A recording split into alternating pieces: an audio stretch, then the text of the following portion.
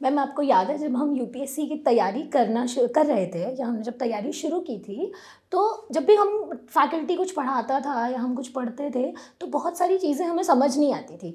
For example geography की class में जब बताया गया था कि प्रेशर और टेम्परेचर का ये रिलेशन है तो मुझे तो एक बार में बिल्कुल समझ नहीं आया था।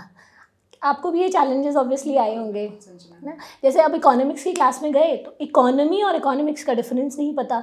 पॉलिटी की क्लास में जाते थे तो ऐसा लगता था पॉलिटिकल साइंस या पॉलिटी पढ़ाएँगे या पॉलिटिक्स में और पॉलिटी में क्या डिफरेंस है? ना इस तरह के चैलेंजेस जो हमने फेस किए वो ऑब्वियसली बच्चे भी फेस कर रहे होंगे।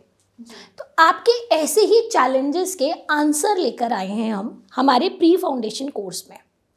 आज हम मैम से प्री फाउंडेशन कोर्स के बारे में पूरी जानकारी लेंगे कि ये प्री फाउंडेशन कोर्स क्या है, क्यों डेवलप किया गया है, क्या हमारा विजन है इसके पीछे। तो मैम, पहला सवाल यही है कि ये प्री फाउंडेशन क्या है? सी संजना ये जो प्री फाउंडेशन कोर्स है या इसमें जो हम क्लासेस प्रोवाइड करवा रहे हैं ये बेसिकली जो हमारा रेगुलर क्लासेस हैं या रेगुलर फाउंडेशन कोर्स जो है उसके बेस या आधार का काम करेगा। या साधारण शब्दों में अगर मैं इसे कहूँ तो रेगुलर क्लासेस के लिए ये स्टूडेंट्स को तैयार करने का काम करेगा। यानी कि मैं मैं जो समझ रही हूँ कि एक ब्रिज कोर्स है हाँ, कि आपने जो कॉलेज स्कूल में पढ़ा और अब आप जो पढ़ने वाले हो उसके बीच में एक ब्रिज का काम करेगा और आपको वो बेसिक्स यहाँ हम समझाएँगे जो हमने नहीं पढ़े हैं या हम भूल भी गए होंगे शायद अगर पढ़े हैं तो। ठीक है। मैम अगला सवाल मेरा ये है कि हम इसमें कितने सब्जेक्ट्स लेके आ रहे हैं और कौन से कौन से सब्जेक्ट्स लेके आएँगे? आ संजना बेसिकली इसमें हम छः जो कोर सब्जेक्ट हैं यूपीएससी प्रिपरेशन के लिए उनको कवर करेंगे। अब ये छः सब्जेक्ट कौन से हैं? इसमें हम economy polity geography modern Indian history environment ecology और आईआर को कवर करेंगे। इन सब्जेक्ट्स पर आधारित हमारी 60 क्लासेस जो है हमने इस प्री फाउंडेशन कोर्स में प्लान की हैं। इसी के साथ 10 क्लासेस और होंगी। ये 10 क्लासेस हमारी डेडिकेटेड हैं करंट अफेयर को लेकर और साथ ही आंसर राइटिंग स्किल्स हैं उनको लेकर। इन क्लासेस में जो हमारा फोकस रहेगा कि सब्जेक्ट मैटर तो डेफिनेटली स्टूडेंट्स को क्लियर करवाया ही जाएगा उसके साथ किसी भी सब्जेक्ट को या स्टडी मटेरियल को आप कैसे अप्रोच करें? यानी कि हाउ टू स्टडी जो एस्पेक्ट है उस पर भी हम फोकस करेंगे। जी। मैम ये तो सब्जेक्ट्स हमने डिस्कस कर लिए। अब विजन आई एस ये प्री फाउंडेशन कोर्स क्यों लेके आया? क्या ज़रूरत पड़ी इसकी? क्या नीड थी कि इतना बड़ा एक अलग से प्रोजेक्ट लॉन्च किया गया? आ संजना जैसे कि आपने शुरुआत की थी कि जब हम स्टूडेंट थे तो बहुत सारे गैप्स थे हमारी तैयारी में जिनको हमने महसूस किया। तो उसी तरह की कुछ स्थिति आज भी जो स्टूडेंट तैयारी करने आ रहे हैं उनकी है। कुछ लोगों ने हो सकता है कि अभी कुछ समय पहले ही ये प्लान किया हो कि उनको इस एग्ज़ाम में अपियर होना है। ठीक है? हो सकता है उनकी कोई मूलभूत तैयारी हो ही ना या ये भी हो सकता है कि कुछ एस्पिरेंट पढ़ने की कोशिश तो कर रहे हैं लेकिन चीज़ों को समझ नहीं पा रहे हैं। दूसरी तरफ़, जब आप फाउंडेशन क्लास में आते हैं, तब फैकल्टी आपसे कुछ एक्सपेक्टेशन रखती है कि एटलीस्ट जब आप इस एग्ज़ाम की तैयारी करने के लिए आ रहे हैं तो कुछ तो बेसिक्स आप कवर करके आ रहे हैं। लेकिन जैसा कि मैंने पहले बताया स्टूडेंट उस बेसिक्स पर काम नहीं कर पाए हैं। तो यहाँ पर एक गैप क्रिएट हो रहा है। इसी गैप को फिल करने का काम करेगा, इसी गैप को ब्रिज करने का काम करेगा हमारा प्री फाउंडेशन कोर्स एक तो इसका ये बेनिफिट है। दूसरा अगर मैं बताऊँ तो बहुत तरह के स्टडी मटेरियल आते हैं स्टूडेंट उनको अप्रोच करने की कोशिश करते हैं। जैसे कि यहाँ पर एक एग्जांपल हम करंट अफेयर का ले सकते हैं। जब फाउंडेशन क्लासेस होती है तो चूँकि उनकी अवधि लंबी होती है लंबे समय तक कोर्स चलता है तो एक लंबे समय अंतराल के बाद स्टूडेंट किसी भी एक सब्जेक्ट से फेमिलियर हो पाते हैं। लेकिन उस सब्जेक्ट का करंट अफेयर तो उनको डे वन से पढ़ना है चाहे मैं इकोनॉमी की बात करूँ या पॉलिटी की। आप कुछ समय के लिए अपने करंट अफेयर पढ़ने की जो एक्सरसाइज है उसे रोक नहीं सकते। तो ऐसे में तीन से चार माह की अवधि में ये जो प्री फाउंडेशन कोर्स है ये आपको डिफरेंट डिफरेंट जो सब्जेक्ट्स हैं उनसे इंट्रोड्यूस भी कर देगा। उनकी मूलभूत समझ भी डेवलप करने में आपकी हेल्प करेगा। ताकि जो बाकी आपका स्टडी मटेरियल है ठीक है उसे आप पढ़ पाएँ चाहे वो करंट अफेयर हो या कोई दूसरा स्टडी मटेरियल हो और उसे समझने की स्थिति में भी आप रहें। और इसके साथ ही जो आपको पढ़ना है वो कैसे पढ़ें इस डायरेक्शन में भी ये प्रोग्राम आपकी हेल्प करेगा। तो मैम जैसे आप प्री फाउंडेशन की बात करें तो फाउंडेशन से पहले हमें पढ़ना होता था एनसीईआरटी बिल्कुल bible for UPSC preparation so ma'am क्या ये एनसीईआरटी क्लासेस हैं? नहीं संजना। ये एक्सक्लूसिवली एन आधारित क्लासेस नहीं है बट जैसा कि आपने भी अभी बताया कि एन पढ़ना हमारे लिए ज़रूरी है। तो एन या ऐसी जो अन्य आधारभूत पुस्तकें भी हैं उनका जो रेलिवेंट सब्जेक्ट मैटर है या जो ज़रूरी चीज़ें हैं हम वहाँ से पिक करेंगे और उन्हें भी क्लासेस में कवर करवाया जाएगा। तो कुछ ऐसी अप्रोच रहेगी कि जो भी ज़रूरी है जिन भी सब्जेक्ट मटीरियल से उन चीज़ों को हम उठाएँगे और जो है क्लासेस में कवर कर मैम ये काफ़ी होलिस्टिक है यानी कि प्रोग्राम जी। तो मैम अगला क्वेश्चन आप मुझे ये बता दीजिए कि इसके और क्या फीचर्स हैं? जैसे एन वाला मेरा मिथ हाँ। था जो आपने बर्स्ट किया तो और क्या फीचर्स हैं और क्या चीज़ें विजन ऑफ़र कर रहा है स्टूडेंट्स को? जी संजना मैं पहले शुरुआत करना चाहूँगी क्लासेस से। जैसे कि मैंने आपको शुरुआत में ही बताया था कि इसमें लगभग सिक्सटी क्लासेस तो हमारे जो छः सब्जेक्ट हैं उनके लिए डेडिकेटेडली प्लान है।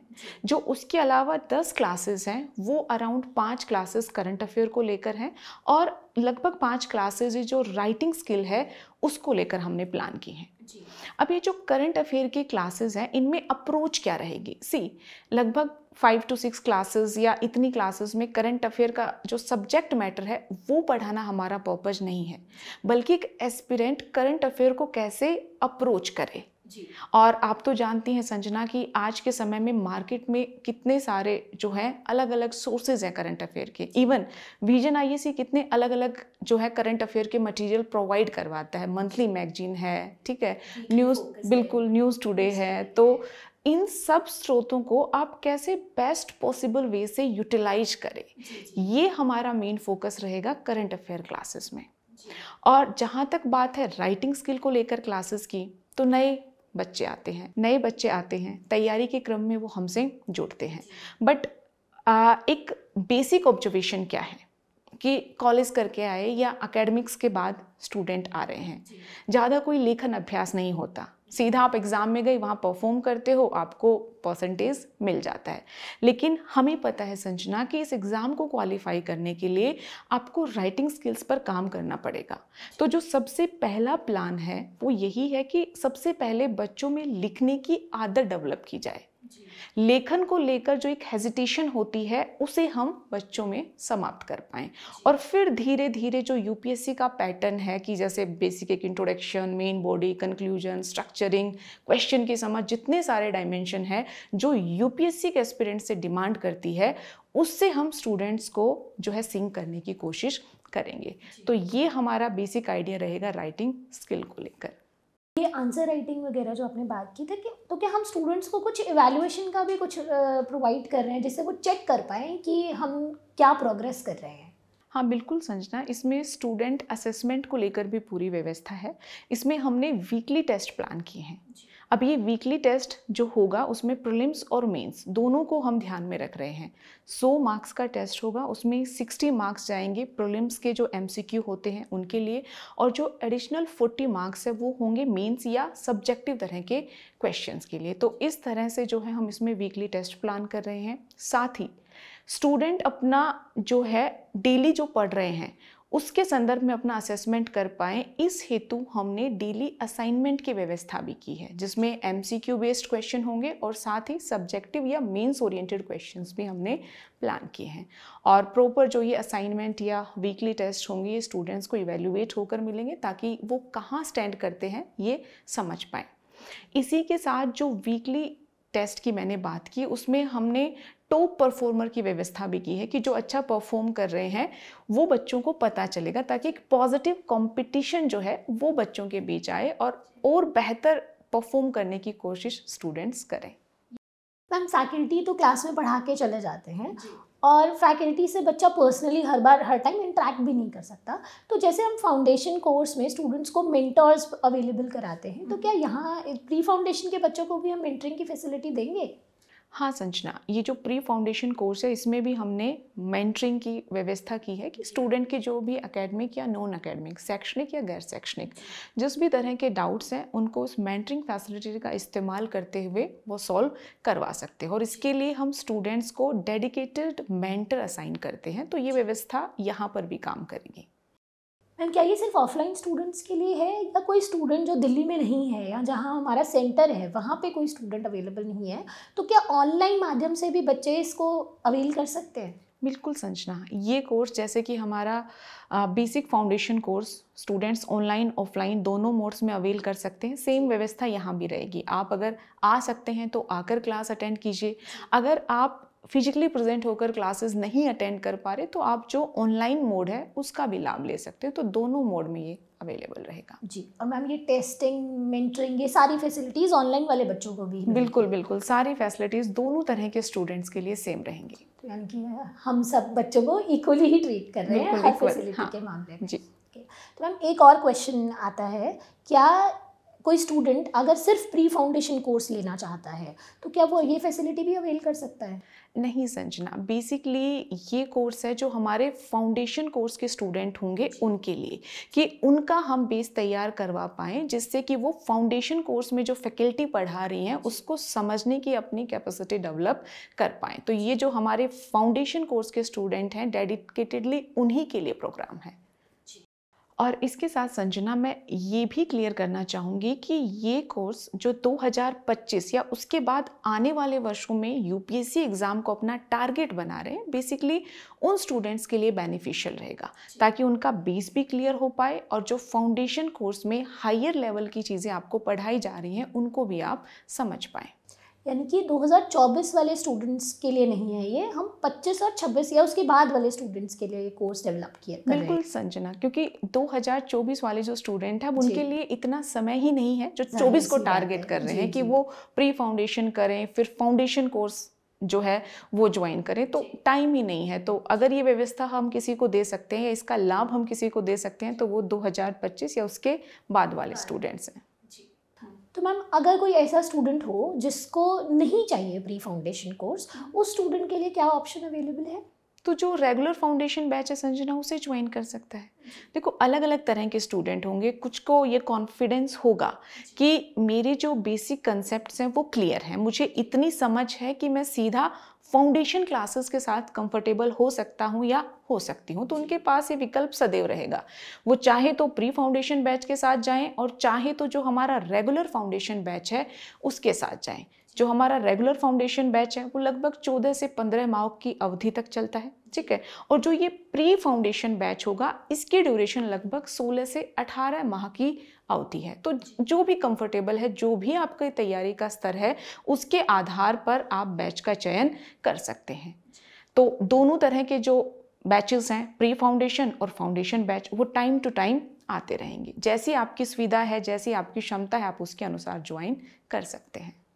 यानी कि मैम ये एक एडिशनल फीचर है। अवेल करना है तो कर सकते हैं और नहीं करना तो रेगुलर हमारा जो पैटर्न है वो कंटिन्यू रहेगा। आप वहाँ पे स्टार्ट जी जी संजना बिल्कुल। ओके मैम एक और जब हम स्टूडेंट होते हैं तो हमारे माइंड में सवाल आता है कि सीक्वेंस क्या रहेगा क्लासेस का? ज़्यादातर बच्चों की ना ये उम्मीद होती है कि एक सब्जेक्ट स्टार्ट हो वो सब्जेक्ट ख़त्म हो जाए उसके बाद हम नए सब्जेक्ट पे जाए। लेकिन नॉर्मली जो मैंने भी एक्सपीरियंस किया है वो एक बहुत अच्छा तरीका नहीं भी है। तो हम यहाँ कौन सा तरीका अपनाने वाले हैं क्लासेस के लिए? देखिए संजना इसके लिए क्या है कि स्टूडेंट को हम जो है एक साथ एक से अधिक सब्जेक्ट से जो है फेमिलियर करवाने की कोशिश करेंगे। यहाँ पर पैटर्न ये नहीं रहेगा कि आपका एक सब्जेक्ट शुरू हो रहा है वो ख़त्म होगा उसके बाद दूसरा होगा। समझ लो तो एक साथ जो है एक से ज़्यादा सब्जेक्ट्स को इंट्रोड्यूस किया जाएगा ताकि आप सारे सब्जेक्ट से फेमिलियर हो पाएँ।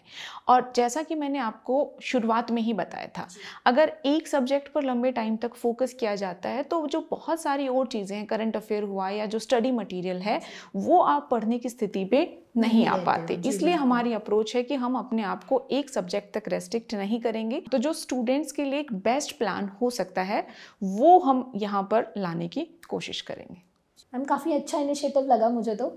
एंड अगर शायद हम लोग जब तैयारी कर रहे थे तब अगर ऐसा कोई इनिशिएटिव होता शायद हम और ज़्यादा अच्छे से अपनी तैयारी पे फोकस भी कर पाते और जो चैलेंजेस हमने फेस किए, वो एटलीस्ट हमारी आने वाली जनरेशन हमारे आने वाले स्टूडेंट्स फेस नहीं करेंगे। थैंक यू मैम सारे फीचर्स हमें बहुत अच्छे से समझाने के लिए। आशा करती हूँ आपको अपने सभी सवालों के जवाब मिल गए होंगे, लेकिन अभी भी अगर आपके दिमाग में इस प्रोग्राम को लेकर कोई भी सवाल है तो हमसे कमेंट सेक्शन पे पूछिए। विजन आई के हेड ऑफ़िस में आइए, अपने सवाल पूछिए, या इंक्वायरी ऑफ़िस में जाके अपने क्वेश्चंस पूछ सकते हैं। आपको हमारी वेबसाइट पर कुछ कॉन्टैक्ट नंबर्स भी मिल जाएँगे, जहाँ आप फ़ोन करके अपने सारे सवालों के जवाब मांग सकते हैं। एंड आशा करती हूँ कि आप इस प्रोग्राम का ज़्यादा से ज़्यादा फ़ायदा उठाएँगे। जितनी मेहनत हमने की है, उतनी ही मेहनत आप भी करेंगे इसके साथ और अपने एग्ज़ाम में सफलता प्राप्त करेंगे। शुक्रिया।